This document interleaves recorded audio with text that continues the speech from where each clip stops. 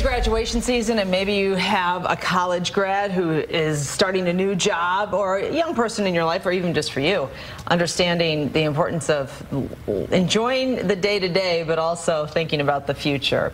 Uh, Michael, local financial instructor Michael Masserant, here with advice for us on retirement planning and how do you handle all that with these kids when retirement seems like a million years away? That's what's tough for younger, for new grads, people in their first job. Retirement is the last thing yeah. on their mind. Um, but really, starting early is so, so important, especially so starting out. It's tough for them because they have all these new bills. Now they're paying for the, you know, they're paying for the car, the gas, groceries, maybe student loans, and they feel like there's just no way I can do this. Well, just starting early puts you ahead of so many other people and puts you on the right track. It really is unbelievable how much starting early can help. I mean, so if someone starts saving $5,000 a year at 25, versus at 35. Mm. So say $5,000 a year, starting at 25 versus 35. Assuming roughly 8% rate of return over time, which is, which is reasonable.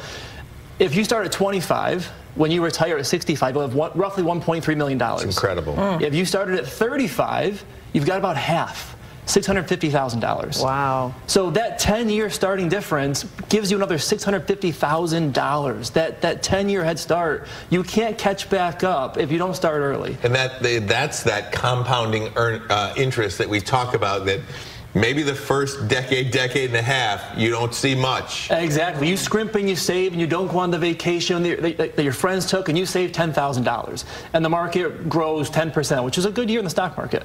And your growth on $10,000 is a thousand bucks. And you're thinking, I should have taken that vacation. $1,000, I, I sacrificed all that to make $1,000. It's not fun early, but the first 10, 15 years, it'll grow, grow, grow, and you're practicing saving. I know it sounds silly, but practicing saving really is important. Just getting used to setting that 10 to 15% aside, treat it like a bill, never touch it, try to increase it every year if you can. It's good habits, It's right? good habits. Mm -hmm. That, that latter 15 years is when the compounding takes off. So are we instructing the kids so they start a new job. We're saying get in the 401k as soon as you can, mm -hmm. right? Um, if they have a 401k, a lot, you know, oh so maybe maybe you work for a small business that doesn't really offer that. So most companies these days do. Smaller businesses, maybe it's a bit more challenging, but even for smaller businesses, it's getting more cost effective for mm. smaller businesses to offer 401ks as well. Okay. And then, are you, in addition to that, are you also doing independent investing into the market, into a different mutual fund? Or? So if you can save into your 401k and still save more, you're a rock star. And by all means, start saving into a Roth IRA or mm -hmm. a mm-hmm. brokerage account, and that's on the on the 401k side, especially for the younger kids. You're probably at the lowest pay scale point of your career. Save into the Roth side. Pay the taxes now. It'll grow tax free. You can take it out tax free down the road when you're in a much higher tax bracket. Mm. Um, Michael, when it comes to a percentage, and, and, I think you said this number, but just to highlight it, if you're, you know, you get that first paycheck, like we said earlier, you think you're loaded.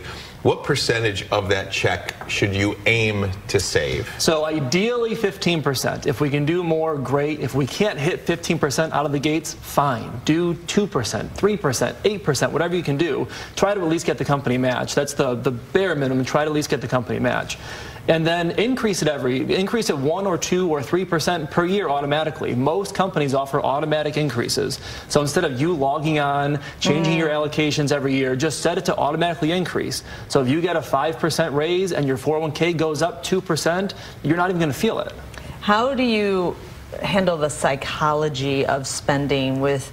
I mean, with any of us, to be honest, but especially with young adults who are looking at Instagram and who are looking inundated to with ads, buy new wardrobes, yeah. buy the uh, new car, go on the trip. How do you manage all that desire to spend? So I think the more we can teach people to help them sort of visualize the future of, okay, I'm sacrificing today not just because my parents told me to save 15% or because Michael told me to save 15%, but because I understand what this 15% means. This 15% means that I'm on track to retire around, you know, late 50s, early 60s, whatever, and have the financial freedom that's going to be so important to me.